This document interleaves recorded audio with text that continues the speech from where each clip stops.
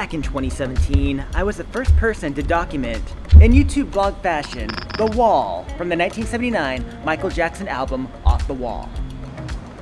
I was able to find the location of the wall by getting in touch with Mike Salisbury. He was the creative director for the album and he did all the branding.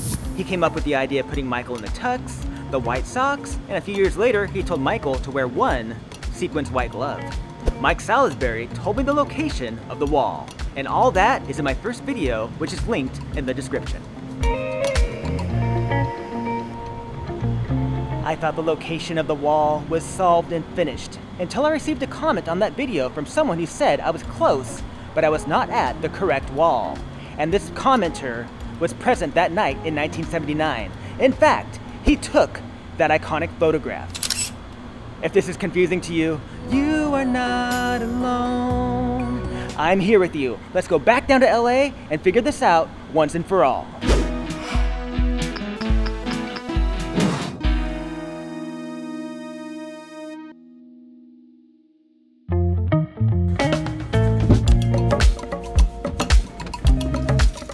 On the night that the photograph was taken, there were three people present that night Michael Jackson, Mike Salisbury, and Steve Harvey. Well, he goes by Stephen Harvey now.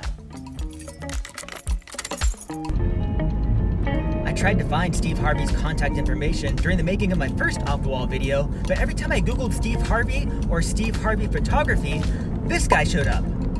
Which is probably why Steve Harvey the photographer started going by Stephen Harvey.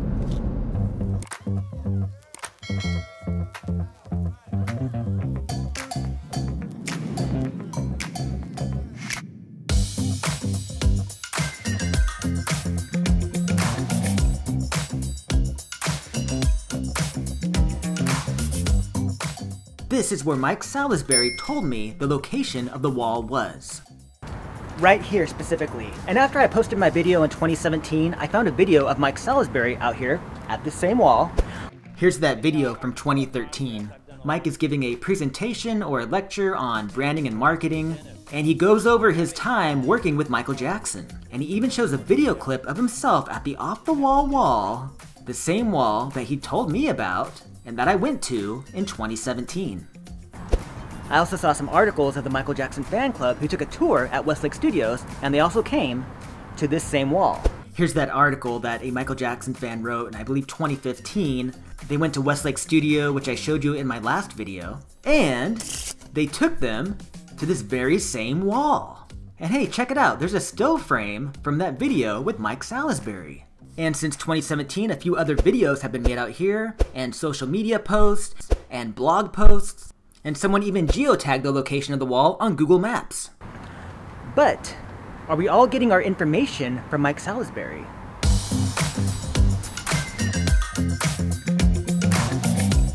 Steve Harvey, the man who shot that photo that night, says we have the wrong wall. He says we're close, but it's actually further down the alleyway. And as you can see, someone has painted a very impressive Michael Jackson off the wall mural here.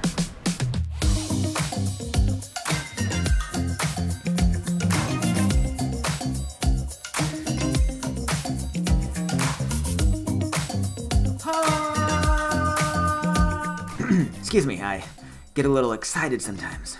Alright, where were we? So directly across the street, this pink building right here this was Stephen Harvey's photography studio. So Michael Jackson, Mike Salisbury, and Stephen Harvey, they walked out of Stephen's studio, and according to Stephen, they went left down this alleyway by Lester Carpets. And he says that the wall was actually a wall that was part of Crossley Flowers. Now unfortunately, there was a fire some years ago, and that part of the wall is now gone. So here's where Crossley's Flowers was. You can see an original part of the building right here, the original brick. And this part must be the area that caught on fire, which butts up right next to Lester Carpet. So here's the outside of what once was Crossley's Flowers. And notice the shape of the building. The entrance is oval, it's on the corner of the block, and it has these pillars. And here are the only two photographs I could find of Crossley's Flowers. They're aerial photos from 1970, and you can see the shape of the building is still exactly the same, so the fire did not burn down the entire building, it only affected, unfortunately, where the off-the-wall photograph was taken. So my best guess is that the wall was just about right here. This is where the new section would have been built after the fire. And right here, this building is Lester Carpet. You're wondering, how could this happen? How could these two men each have different walls? If you're saying, why, why? Remember, it's just human nature. It's human nature. It was one night, 40 years ago, and somebody is misremembering so I started to analyze past comments that Mike Salisbury made about that night in 1979. So we went back, went to a photo studio, and I'm sitting there, I can't think of a way to make this work. I went out in the alley, and there's a wall and a loading dock. Did you catch that? He said there was a wall and a loading dock. In another print interview, he talks about a brick wall with a loading dock. Does this building seem like it's big enough to have a loading dock? I can't figure out who occupied this business in 1979, but this doesn't seem big enough to be described as a loading dock. Now if you go the other way down the alley, you get to Lester Carpets that has this big bay door, which I would describe as a loading dock. Lester Carpets has been in business here at this very location since 1954. So this building and this bay door was here in 1979. Then I went back to my original email with Mike Salisbury from years ago and I noticed something. He said that the wall was the back of a carpet store at the time. Could he be mixing up a memory of Lester Carpets with that other building?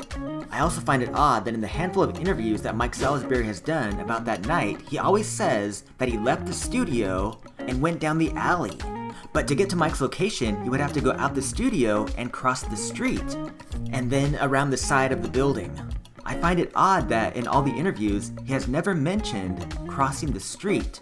So I decided to reach out to Mike Salisbury again, and I asked him, is it possible that he might be misremembering that night from over 40 years ago? You've got mail. And I instantly got a reply, but unfortunately it was that his mailbox is full. Mike Salisbury is now 81 years old, and I hope he's healthy, I hope he's well. I mean, the guy's a freaking legend. And I truly believe he remembers going to that other building. So, is this the wall? Or is this the wall? A wall divided amongst itself cannot stand. Will the real wall please stand up? I wonder what Michael would say. I have a feeling he wouldn't care. He's got bigger things to think about. Healing the world, making it a better place for you and for me, and the entire human race. So what do I think? Well, I think about it like this. If you're the one behind the camera, taking the photograph, you're looking through the lens, I think you might have a little bit better memory of that one day. And this wasn't Mike Salisbury's neighborhood, this was Steve Harvey's neighborhood. He operated out of the same building on the corner here for 35 years. The surrounding businesses were his neighbors. And Stephen also knew the name of the business that the wall was attached to, Crossley's Flowers. And I checked it out, Crossley's Flowers did operate out of 7819 Beverly Boulevard, starting in 1966. And it looks like they gave up their lease or lost their lease in 1996. That could be the year of the fire. And in an email, Stephen Harvey told me that before the fire, he used to bring his friends out there into the alleyway and take their picture at the Michael Jackson wall. Also, Stephen remembers exactly which camera he used. It was a Hasselblad manual hand-cranked camera, I believe very similar to the one shown here. So we have Mike Salisbury's memory that it was a wall with a loading dock, and two, the wall was part of a carpet store. Or we have Stephen Harvey's memory, where he tells us that the wall was a part of the business Crossley's Flowers. He knows why the wall is no longer there because of a fire. He remembers what style of camera he used, and the biggest piece of evidence this is where Steve Harvey worked and had his studio for over three decades. He knew this block and this alley like the back of his hand. So after analyzing everything, we can say that this is the true location of where the off-the-wall wall was located.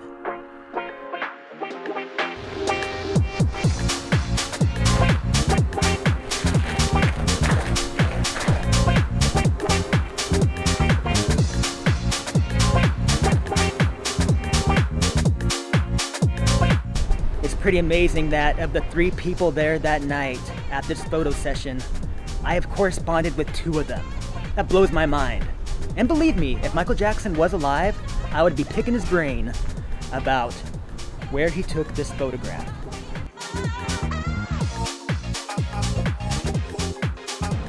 I learned today from a very nice man named Omar who lives around here and who works around here that this entire block is going to be redeveloped and they're going to tear everything down come January.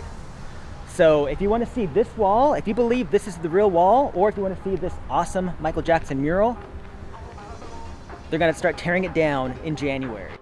Take that with a grain of salt, I just met that guy today, but he seemed pretty credible. So this wall and this mural and this building could be gone in January 2024.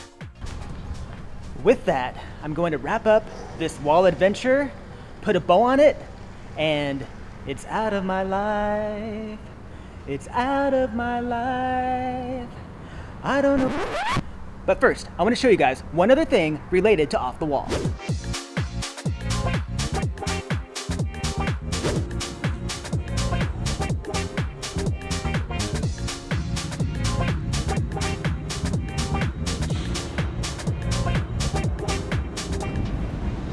Time I took you guys to Westlake Studios where some of Off the Wall was recorded, but the majority of it, all the vocals and a lot of the rhythm section, were recorded right here at the Allen Zentz recording studio. Now the Allen Zentz recording studio, it went out of business in 1983. So I think that's why a lot of people, if they go online and read about it, they go to Westlake. But in the liner notes, it says, recorded at the Allen Zentz studio. And there it is, rhythm tracks and the vocals recorded at Allen Zentz Studios. And check it out, Mike Salisbury gets a shout out for cover design, and Steve Harvey gets a shout out for taking the photograph. This is the studio where Michael one day he dressed like Charlie Chaplin and he did all his vocals that day dressed as Charlie Chaplin. I mean, you have to remember, he was still a kid. He was having fun in there.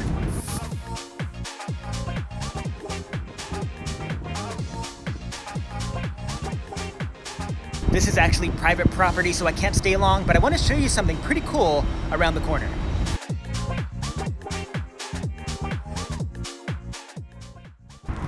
This is the famous Record Plant Recording Studio. This is where Kanye West recorded The College Dropout, Late Registration, and Graduation. Now his 2007 hit, The Good Life, sampled Michael Jackson's PYT.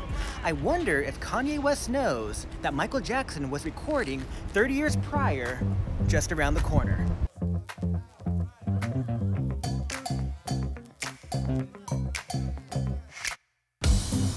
Alright, that's all I've got for you today. Please hit like and subscribe and let me know which wall do you think is the real wall?